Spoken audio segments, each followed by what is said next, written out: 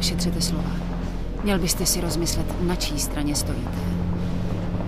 Takže to mi chcete říct, že ty romské děti to jako zvládnou? Vypadněte do toho auta!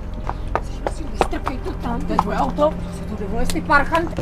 Jsi nějaká drsá, ne? Takovouhle hezkou gáďovku jsem neměl. Obklopili mě. Měli v ruce nůž. A donutili mě, abych se slíkla do náha.